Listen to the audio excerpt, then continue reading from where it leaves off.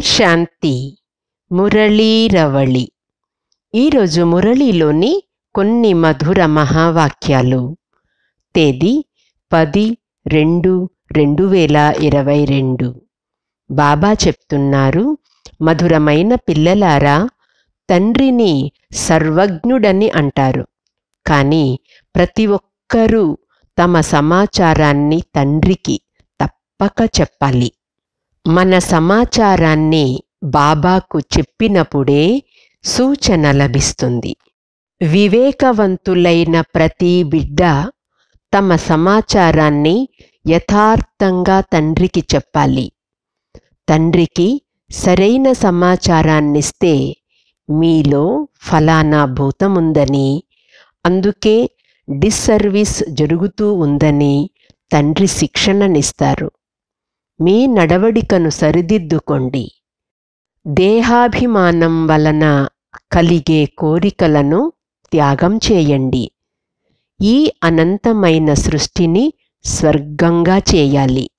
అందువలన అందరికీ జ్ఞానాన్నివ్వండి. ముఖ్యంగా పేదలపై గమనముంచండి అని వివేకవంతులైన పిల్లలకు శిక్షణనిస్తారు. ఆత్మకు యథార్థమైన ఆధారాన్నిచ్చేవారు ఒక్క పరమాత్ముడే అనే నిశ్చయం మంచి పురుషార్థి పిల్లలకు మాత్రమే ఉంటుంది. భగవంతునికి పిల్లలందరి మనోస్థితులు తెలుసు. సాకార లోకానికి వచ్చి టీచరై చదివిస్తున్నారు. కనుక అందరి గురించి తెలుసు. మనం చేసిన పొరపాటును స్వయం అర్థం చేసుకొని పరివర్తన అయ్యేందుకు తండ్రికి చెప్పాలి. అన్నీ భగవంతునికి తెలుసు. అనుకోవటం గుడ్డి నమ్మకమని అంటారు.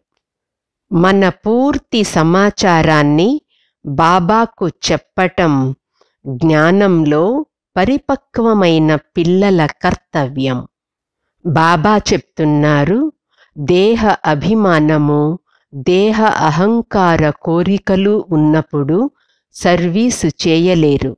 భూతాలను తొలగించుకోకపోతే పదభ్రష్టులవుతారు. అనంతమైన బాబాకు సృష్టిని స్వర్గంగా చేయాలని అందరినీ ఉద్ధరించాలనే విశేష భావన ఉంటుంది. ఇటువంటి ఉన్నతమైన తండ్రిని అందరూ గౌరవించాలి. అత్యంత ఉన్నతమైన వారు భగవంతుడు జ్ఞానసాగరుడు. ఈ జ్ఞానము బ్రహ్మ విష్ణు శంకరులలో కూడా లేదు. బాబా చెప్తున్నారు జగదంబా సరస్వతి బ్రహ్మ కూతురు. వీరు జ్ఞాన దేవత. వారినే తల్లి అని కీర్తిస్తారు. ఈ జ్ఞాన జ్ఞానేశ్వరీయే రేపు రాజరాజేశ్వరిగా అవుతారు. బాబా చెప్తున్నారు మీరే సృష్టి ప్రారంభంలో పూజ్యులుగా ఉండేవారు తిరిగి పూజారులయ్యారు. అన్ని ధర్మగ్రంథాల కంటే ముఖ్యమైనది భగవద్గీత. ఆ గీతా జ్ఞానదాత నిరాకార పరమాత్ముడు. ఇది అనంతమైన అవినాశీ నాటకం. జరిగిపోయిన పాత్రలు తిరిగి ఐదు వేల సంవత్సరాల తరువాత రిపీట్ అవుతాయి. బాబా చెప్తున్నారు స్వ ఉన్నతి కొరకు మీ నడవడికలను గురించి మీ చదువు గురించి సత్యమైన సమాచారాన్ని తండ్రికి చెప్పాలి. మీ జీవితాన్ని మరియు ఇతరుల అందరి జీవితాలను వజ్రసమానంగా తయారు చేయాలి. గృహస్థ వ్యవహారాన్ని నిర్వహిస్తూ శ్రీమతాన్ని అనుసరిస్తూ ఉండాలి. తెలివైన వారై మీ సర్వస్వం స్వర్గం కొరకు ట్రాన్స్ఫర్ చేయాలి. బాబా చెప్తున్నారు దొంగలు వచ్చి దోచుకునేందుకు మీ వద్ద ఏమీ లేవు. ఇది ఆత్మిక పాఠశాల.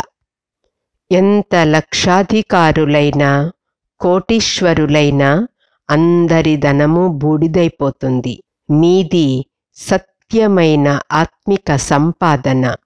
అందరికంటే ధనవంతులు కోటాను కోట్ల కోటీశ్వరులు మీరు. అనంతమైన సంపదను మీ వెంట తీసుకువెళ్తారు. బాబా చెప్తున్నారు మీదంతా స్వర్గంలోనికి ట్రాన్స్ఫర్ అవుతుంది.